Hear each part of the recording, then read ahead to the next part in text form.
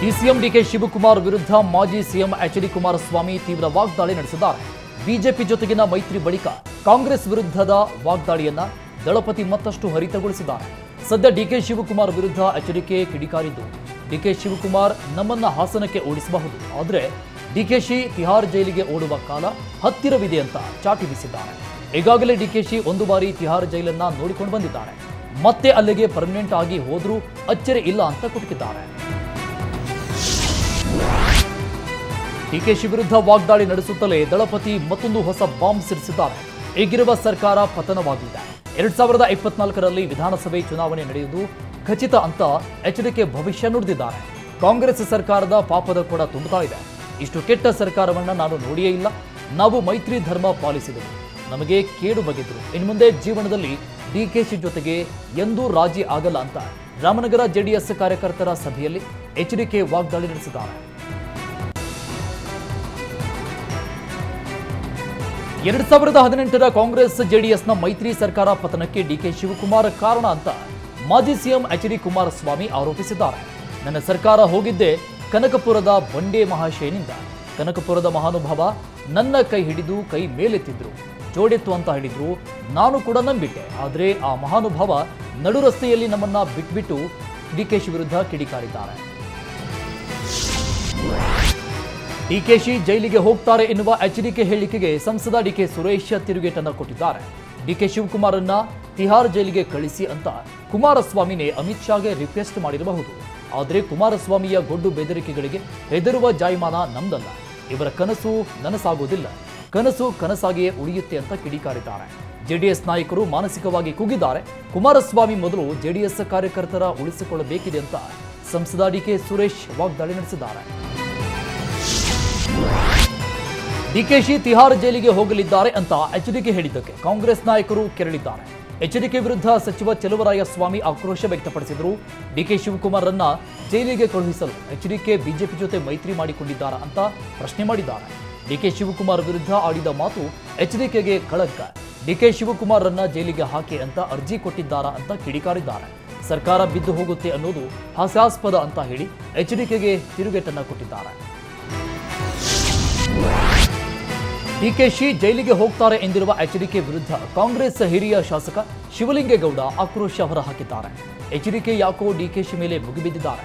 DK ಶಿವಕುಮಾರನ್ನ ಜೈಲಿಗೆ ಕಳುಹಿಸಬೇಕು ಅಂತಾನೆ ಬಿಜೆಪಿ ಜೊತೆ ಸಖ್ಯ ಬೆಳೆಸಿದ್ದಾರೆ ಅಂತ ಕಾಣಿಸುತ್ತೆ. ಒಕ್ಕಲಿಗ ಸಮಾಜ, ಸಮಾಜದ ಮತಗಳನ್ನ ಡಿಕೆ ಶಿವಕುಮಾರ್ ಸೆಳೆದುಕೊಂಡು ತಾವೆಲ್ಲಿ ಜೀರೋ ಆಗ್ಬಿಡ್ತೀವಿ ಅನ್ನೋ ಆತಂಕ ಎಚ್ಡಿಕೆಗೆ ಕಾಡ್ತಾ ಇದೆ. ಮೈತ್ರಿ ಸರ್ಕಾರ ಯಾಕೆ ಬಿದ್ದೋಯ್ತು ಅಂತ ಎಲ್ಲರಿಗೂ ಗೊತ್ತಿದೆ ಅಂತ ಹೇಳಿ ಎಚ್ ಡಿಕೆಗೆ ಕೌಂಟರ್ ಕೊಟ್ಟಿದ್ದಾರೆ. ಬಿಹಾರದಲ್ಲಿ ಜಾತಿ ಗಣತಿ ವರದಿ ಪ್ರಕಟಗೊಂಡ ಬೆನ್ನಲ್ಲೇ ಕರ್ನಾಟಕದಲ್ಲೂ ಜಾತಿ ಸಮೀಕ್ಷೆ ಬಿಡುಗಡೆಗೆ ಕೂಗು ಹೆಚ್ಚಾಗ್ತಾ ಇದೆ. ಈ ಬಗ್ಗೆ ದೆಹಲಿಯಲ್ಲಿ ಸಿಎಂ ಸಿದ್ದರಾಮಯ್ಯ ಪ್ರತಿಕ್ರಿಯಿಸಿದ್ದು, ಜಾತಿ ಸಮೀಕ್ಷೆ ಕೈ ಸೇರಿದ ಬಳಿಕ ವರದಿಯನ್ನ ಪ್ರಕಟಿಸಲಿದ್ದೇವೆ ಎಂದಿದ್ದಾರೆ. ಎರಡು ಸಾವಿರದ ಹದಿನಾಲ್ಕು ಹದಿನೈದರಲ್ಲಿ ನಮ್ಮ ಸರ್ಕಾರ ಜಾತಿ ಸಮೀಕ್ಷೆ ನಡೆಸಿತ್ತು. ನಮ್ಮ ಅವಧಿ ಮುಗಿಯುವ ವೇಳೆಗೆ ವರದಿ ಸಿದ್ಧವಾಗಿರಲಿಲ್ಲ. ಮೈತ್ರಿ ಸರ್ಕಾರದಲ್ಲಿ ಮುಖ್ಯಮಂತ್ರಿಯಾಗಿದ್ದ ಕುಮಾರಸ್ವಾಮಿ ಸಮೀಕ್ಷೆ ವರದಿಯನ್ನ ಪಡೆಯಲಿಲ್ಲ. ಈಗ ವರದಿ ಸಲ್ಲಿಸಲು ಹಿಂದುಳಿದ ವರ್ಗದ ಆಯೋಗದ ಅಧ್ಯಕ್ಷ ಜಯಪ್ರಕಾಶ್ ಹೆಗಡೆಗೆ ಸೂಚಿಸಿರುವುದಾಗಿ ತಿಳಿಸಿದ್ದಾರೆ. ಬಿಜೆಪಿ ಜೆಡಿಎಸ್ ಮೈತ್ರಿಗೆ ಉಭಯ ಪಕ್ಷಗಳಲ್ಲೂ ಆಂತರಿಕ ಅಸಮಾಧಾನ ಹೆಚ್ಚಾಗ್ತಾ ಇದೆ. ಇನ್ನು ಮೈತ್ರಿ ಬಗ್ಗೆ ಅಪಸ್ವರ ಎತ್ತಿದ ಎಸ್ ಡಿ ಸೋಮಶೇಖರ್ ವಿರುದ್ಧ ಶಾಸಕ ಮುನಿರತ್ನ ಕಿಡಿಕಾರಿದ್ದಾರೆ. ಅಂದು ಯಡಿಯೂರಪ್ಪರನ್ನ ಸಿಎಂ ಸ್ಥಾನದಿಂದ ಕೆಳಗಿಳಿಸಿದಾಗ ಯಾರೂ ಮಾತನಾಡಲಿಲ್ಲ. ಯಡಿಯೂರಪ್ಪ ಬದಲಾವಣೆ ಬಗ್ಗೆ ಕೇಳದವರು ಈಗ ಮೈತ್ರಿ ಬಗ್ಗೆ ಮಾತನಾಡ್ತಾ ಇದ್ದಾರೆ. ಹೈಕಮಾಂಡ್ ಸರಿಯಾದ ಸಮಯಕ್ಕೆ ಸರಿಯಾದ ನಿರ್ಧಾರವನ್ನ ಕೈಗೊಂಡಿದೆ ಅಂತ ಮುನಿರತ್ನ ಹೇಳಿದ್ದಾರೆ.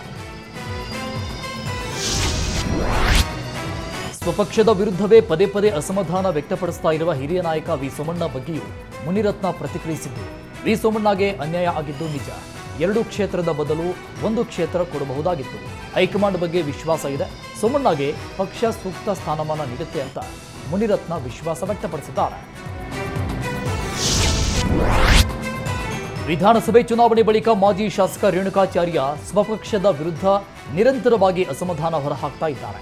ಸದ್ಯ ರಾಜ್ಯಾಧ್ಯಕ್ಷ ನಳಿನ್ ಕುಮಾರ್ ಕಟೀಲ್ ವಿರುದ್ಧ ರೇಣುಕಾಚಾರ್ಯ ಕಿಡಿಕಾರಿದು, ನಮಗೆ ರಬ್ಬರ್ ಸ್ಟಾಂಪ್ ರೀತಿಯ ರಾಜ್ಯಾಧ್ಯಕ್ಷರು ಬೇಡ ಅಂತ ಆಕ್ರೋಶವನ್ನು ವ್ಯಕ್ತಪಡಿಸಿದ್ದಾರೆ. ಯಡಿಯೂರಪ್ಪ ರೀತಿಯ ನಾಯಕರು ಇಡೀ ದಕ್ಷಿಣ ಭಾರತದ ಬಿಜೆಪಿಯಲ್ಲಿ ಯಾರೂ ಇಲ್ಲ. ಮೋದಿ ಫೋಟೋ ಹಿಡಿದು ಹೋದರೆ ಮತ ಸಿಗುತ್ತಾ? ಬಿಎಸ್ವೈಗೆ ಮಾತ್ರ ಮತಗಳಿಸುವ ಶಕ್ತಿ ಇದೆ ಅಂತ ರೇಣುಕಾಚಾರ್ಯ ಹೇಳಿದ್ದಾರೆ. ರಾಜ್ಯದಲ್ಲಿ ಬರಗಾಲ ಉಂಟಾಗಿದ್ದು ರೈತರು ಬೆಳೆ ಬಾರದೆ ಆತ್ಮಹತ್ಯೆ ಮಾಡಿಕೊಳ್ತಾ ಇದ್ದಾರೆ. ಸಿದ್ದರಾಮಯ್ಯ ಅಧಿಕಾರಕ್ಕೆ ಬಂದ ಮೇಲೆ ರೈತರ ಆತ್ಮಹತ್ಯೆಗಳು ಹೆಚ್ಚಾಗಿವೆ ಅಂತ ಕಾಂಗ್ರೆಸ್ ವಿರುದ್ಧ ಮಾಜಿ ಸಚಿವ ಡಾಕ್ಟರ್ ಕೆ ಸುಧಾಕರ್ ವಾಗ್ದಾಳಿ ನಡೆಸಿದ್ದಾರೆ. ರಾಜ್ಯದಲ್ಲಿ ರೈತರ ಬದುಕಿಗೆ ಗ್ಯಾರಂಟಿ ಇಲ್ಲದಂತಾಗಿದೆ. ಗ್ಯಾರಂಟಿ ಯೋಜನೆಗಳ ಮೂಲಕ ರಾಜ್ಯವನ್ನ ದಿವಾಳಿ ಮಾಡಲಾಗ್ತಿದೆ. ಈಗಾಗಲೇ ಪಂಜಾಬ್ ರಾಜ್ಯ ದಿವಾಳಿಯಾಗಿದೆ. ಸಿದ್ದರಾಮಯ್ಯ ಅಧಿಕಾರದ ಮದದಲ್ಲಿ ನಿದ್ದೆಗೆ ಹೋಗಿದ್ದಾರೆ ಅಂತ ಸುಧಾಕರ್ ವಾಗ್ದಾಳಿ ನಡೆಸಿದ್ದಾರೆ. ಲೋಕಸಭಾ ಚುನಾವಣೆ ಗೆಲ್ಲಲು ಬಿಜೆಪಿ ಜೆಡಿಎಸ್ ಮೈತ್ರಿ ಮಾಡಿಕೊಂಡಿದೆ. ಆದರೆ ಮಂಡ್ಯ ಸಂಸದೆ ಸುಮಲತಾ ಅಂಬರೀಷ್ಗೆ ಈ ಬಗ್ಗೆ ಇದುವರೆಗೂ ಬಿಜೆಪಿ ಮಾಹಿತಿಯನ್ನೇ ಕೊಟ್ಟಿಲ್ವಂತೆ ಬಿಜೆಪಿಯಿಂದ ನನಗೆ ಈವರೆಗೆ ಕಮ್ಯುನಿಕೇಷನ್ ಆಗಿಲ್ಲ. ಬಿಜೆಪಿ ಜೆಡಿಎಸ್ ಮೈತ್ರಿ ಬಗ್ಗೆ ನಾನಾಗಿಯೇ ಕೇಳಲ್ಲ. ಅವರಿಂದ ಕರೆ ಬರಬೇಕು ಅಂತ ಸಂಸದೆ ಸುಮಲತಾ ಹೇಳಿದರು. ನಾನು ಚುನಾವಣೆ ಬಗ್ಗೆ ಮಾತಾಡಲ್ಲ ಅಂತ ಸಂಸದೆ ಸುಮಲತಾ. ಮೈತ್ರಿ ಬಗ್ಗೆಯಾಗಲಿ ಚುನಾವಣೆಗೆ ಬೆಂಬಲ ಕೊಡುವ ಬಗ್ಗೆಯಾಗಲಿ ನಾನು ಈಗಲೇ ನಿರ್ಧಾರವನ್ನ ತಿಳಿಸಲ್ಲ ಅಂದಿದ್ದಾರೆ.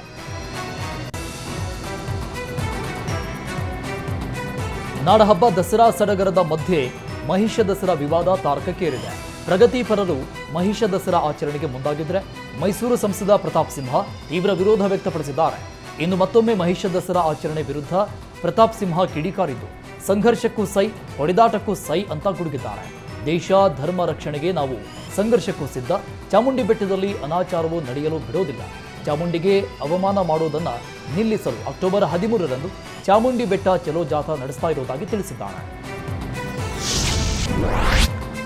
ಕೋಣನಕುಂಟೆ ಕ್ರಾಸ್ ಬಳಿ ಸಂಭವಿಸಿದ್ದ ಅಪಘಾತದ ಬಗ್ಗೆ ನಟ ನಾಗಭೂಷಣ್ ವಾರದ ಬಳಿಕ ಪ್ರತಿಕ್ರಿಯೆ ಕೊಟ್ಟಿದ್ದಾರೆ. ನಾನು ಹಿಟ್ ಆ್ಯಂಡ್ ರನ್ ಮಾಡಿಲ್ಲ ಅಂತ ನಾಗಭೂಷಣ್ ಸ್ಪಷ್ಟನೆ ಕೊಟ್ಟಿದ್ದಾರೆ. ಅಪಘಾತದ ವಿಚಾರವಾಗಿ ಮೊದಲೇ ಬಂದು ಮಾತಾಡಬೇಕಾಗಿತ್ತು, ಆದರೆ ನಾನು ಮೆಂಟಲಿ ತುಂಬ ಡಿಸ್ಟರ್ಬ್ ಆಗಿದ್ದೆ. ಹೀಗಾಗಿ ಮಾತನಾಡಲು ಸಾಧ್ಯವಾಗಲಿಲ್ಲ. ಅಪಘಾತದ ನಂತರ ನಾನೇ ಆಸ್ಪತ್ರೆಗೆ ದಾಖಲು ಮಾಡಿದೆ. ಬಳಿಕ ಪೊಲೀಸರಿಗೂ ಮಾಹಿತಿಯನ್ನು ಕೊಟ್ಟಿದ್ದೇನೆ. ನನ್ನ ತಂದೆಯನ್ನ ಅಪಘಾತದಲ್ಲೇ ಕಳೆದುಕೊಂಡೆ ಅಂತ ನಾಗಭೂಷಣ್ ಭಾವುಕರಾದರು.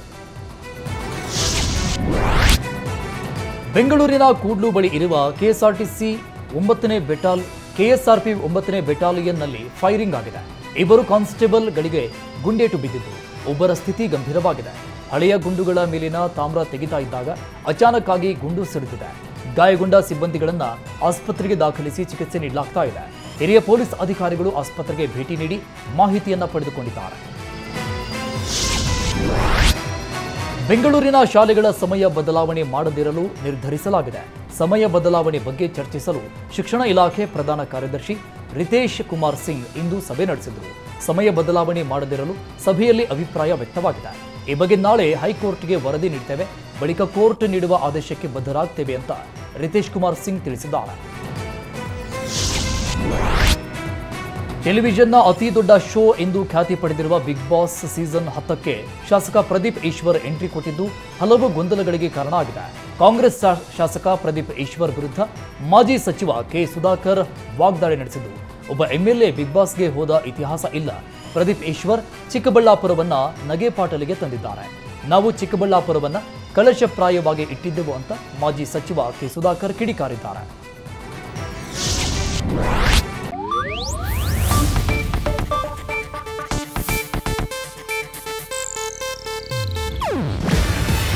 ಇದು ಏಷ್ಯಾನೆಟ್ ನ್ಯೂಸ್ ನೆಟ್ವರ್ಕ್ ಪ್ರಸ್ತುತಿ. ನೀವು ನೋಡ್ತಿದ್ದೀರಾ ಏಷ್ಯಾ ನೆಟ್ ಸುವರ್ಣ ನ್ಯೂಸ್.